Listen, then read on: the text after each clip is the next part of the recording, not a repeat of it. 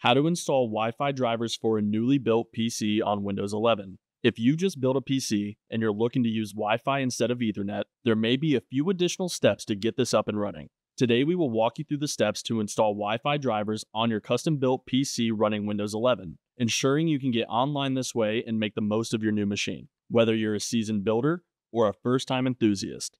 This guide will help you navigate the process with ease and confidence. Before we begin, the specific steps and windows you may see will vary on the brand and model of the motherboard that your computer has, but the steps will be quite similar for any modern motherboard.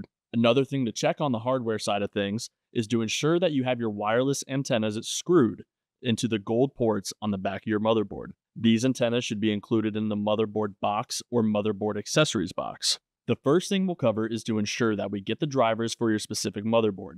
To verify what motherboard you have, we will open a run window on your PC. To do this, press the Windows key and the letter R at the same time. Alternatively, right click on the Start button, found on the taskbar, usually found at the bottom of the screen. In the Run box, clear out anything listed here if necessary. Type in msinfo32 and then click on OK. This will open a system information window that should be on the system summary option by default. On this initial page, you should see baseboard manufacturer, which will be your motherboard manufacturer. In our example, this is Asus. Below that will be a baseboard product or the model number of your motherboard. In our example, it is TUF Gaming B550 Plus Wi Fi 2. Now that we've verified the motherboard model, we'll want to open up a web browser and head to the manufacturer's website. So for our example, we'll look up the Asus motherboard model drivers online through Google. Here we will click on the result to take us directly to the Asus website. Steps may vary on the manufacturer's site depending on brand and model, but should be similar. Here we are on the drivers page for our specific example motherboard. We'll locate the wireless or Wi Fi drivers listed here and click on download. Typically, this will be a zip file. Once this is downloaded, we will want to extract the file if necessary.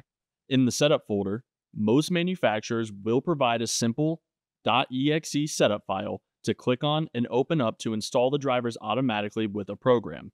If prompted, for a user account control window, click on Yes. Now you may see an application pop up, or it may automatically install the driver to your system. To see if it's been installed, go to Device Manager by right clicking on the Start button. Expand the options here for network adapters and see if Wi Fi slash wireless drivers are listed here now. You will now be able to connect wirelessly with your new system. If you don't see it, you may need to reboot your computer after installing the driver and then check Device Manager again. And that's all there is to it.